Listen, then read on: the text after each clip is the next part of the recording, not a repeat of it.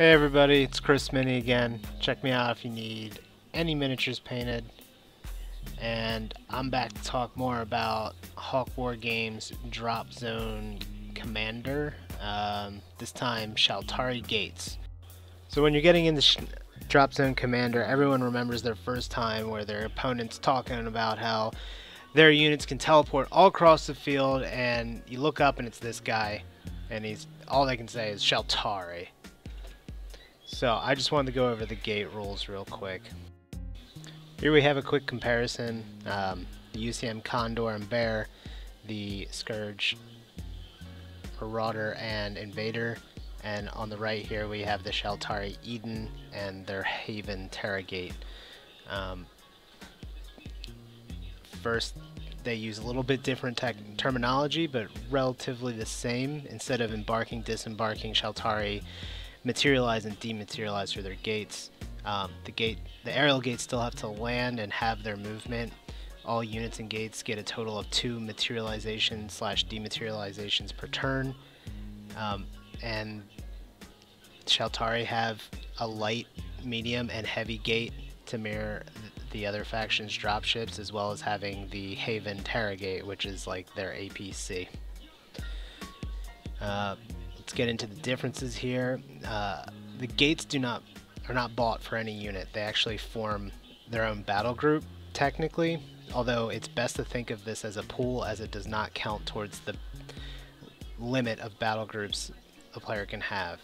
And when a Shaltari player activates any battle group, they can nominate any gates that are going to activate with the battle group and will act will move and effectively become their dropships and APCs for the turn. This gives the Shaltari a great deal of flexibility as their gates are never tied to a particular unit unlike the other factions. All Shaltari units have mass values and or gate values.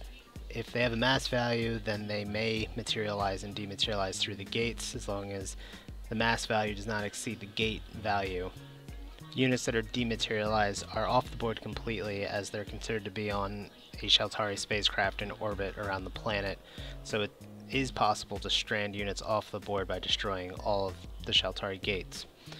There are two types of mass. There's normal mass and fine mass. The larger gates, such as the Eden here, uh, they lack the precision to pick up small units such as infantry, whereas the Spirit Light Gate and the Haven Terra Gate are fine gates, and they can pick up things that are considered fine mass, which is normally infantry, but it's also worth pointing out that the Shaltari Yari, which is their fast scout skimmer, has a fine mass value as well as a normal mass value, so it could utilize any gate. In the beginning of the game, a Shaltari player must declare which units are materialized and which are dematerialized.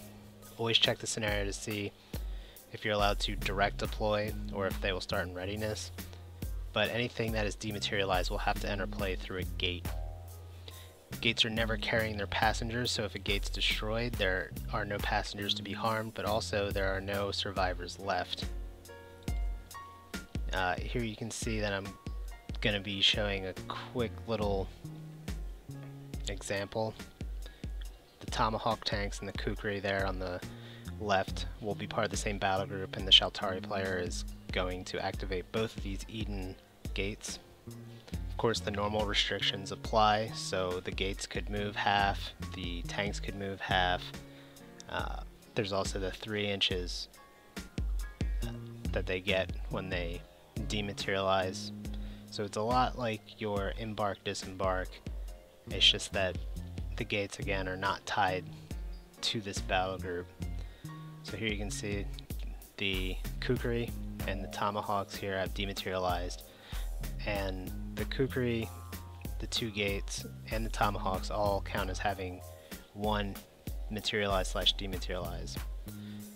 So since the gates haven't moved, they can perform a half move or less, and now those kukri could deploy out of the other gate and the tomahawks could deploy out of this gate and effectively switch places.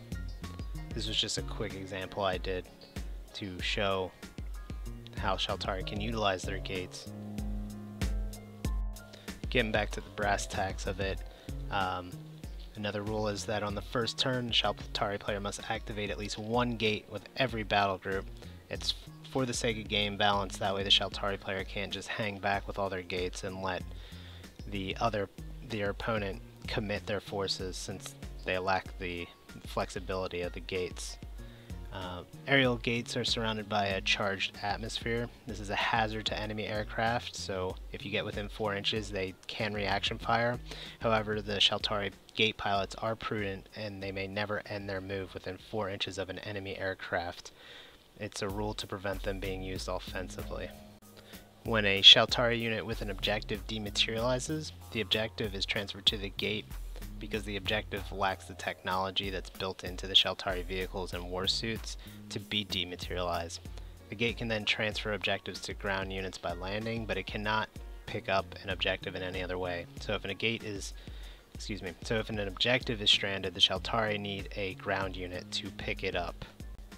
Lastly, Shaltari commanders do not count as having left the battlefield if they rematerialize the same turn that they have dematerialized. There are two rules in regards to gate in list construction. First, the combined total of gate value cannot exceed the total mass value of all other units in the army. Gates that also have a mass value like the Haven count towards both. Second, the number of gate squads does not exceed the total number of other squads in the army.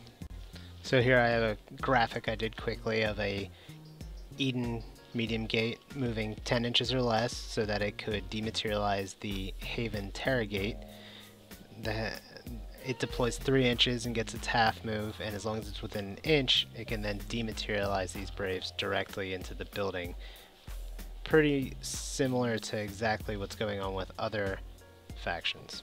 What really demonstrates the Shaltari's flexibility is that if the Braves then dematerialize out of the building, they count as having one dematerialized. The Haven could then go through the Eden Gate, but then the Haven is counted as two dematerialized.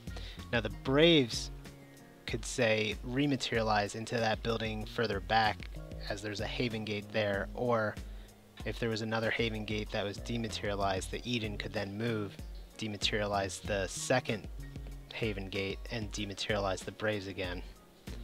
So thank you again for watching. I know that was really fast, but I just wanted to jam pack all the information. Please read the article on my blog, crispmini.blogspot.com, uh, as I'm going to write it all out, of course. And tune back in next time. I'm going to cover more Dropzone Commander. Thanks again for watching.